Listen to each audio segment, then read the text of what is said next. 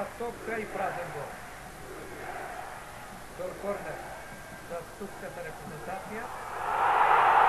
Овде ми се чини дека имаше офсайд. Не, не,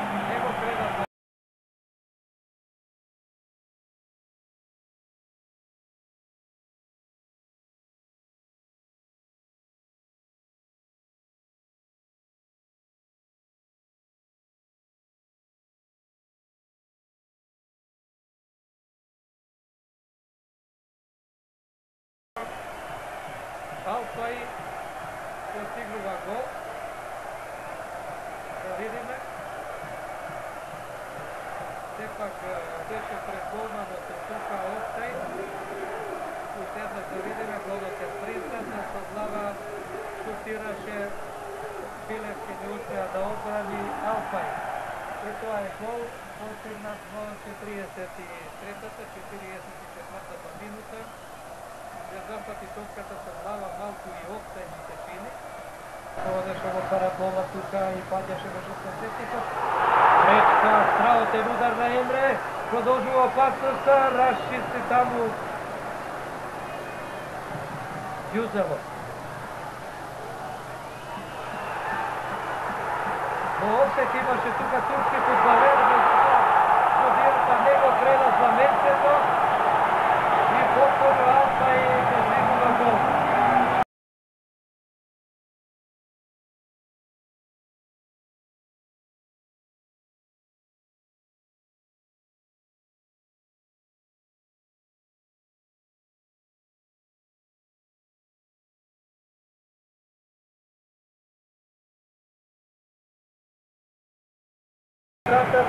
Турција изравнува 2-2, тревет на голот Алфај штета што видовте овој момент. Да На една чудна одлука. Предходно уште имаше офсайд. Меѓутоа, судијата овој пат Стеван Матко ми се чини дека греши сите наши фудбалери реагира. Видовте, веќе во овој момент имаше офсайд. Па сега, еве и таму на тестата страна беше во офсайд талпа и сила да се издржи контрата. Се обиде Бекири, беше фаулиран, а беше и на крајот од силите, во тој спринт. И гол, гол, гол, прекрасен гол. Водиме 3-2. И еве сега повторно занимеа гледачи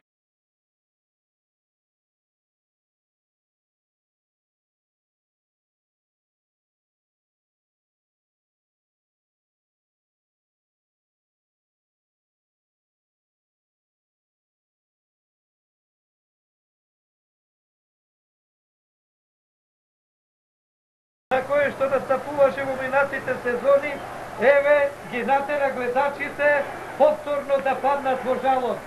Македонија води со 3 спрема 2. Прекрасен гол, погледнете, Рушто е совладан по трет пат. Каков темпиран удар на нашиот репрезентант. Старевски не успеа. Побрз од него беше Еркан. Умит.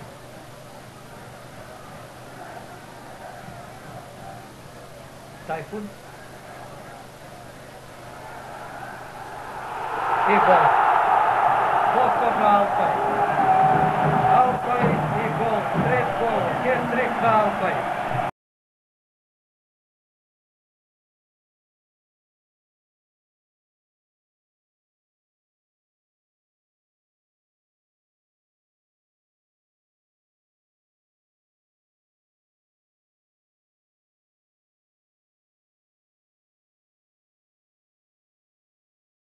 Одно искуство тој настапува за Астон Лигата.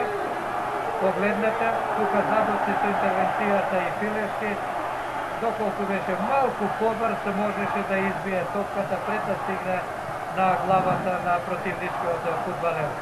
Вака се беше доста и за Николовски, која следеше акцијата, дотрча до не можеше ништо да стори. Турците изравнуваат на 3 спрема 3.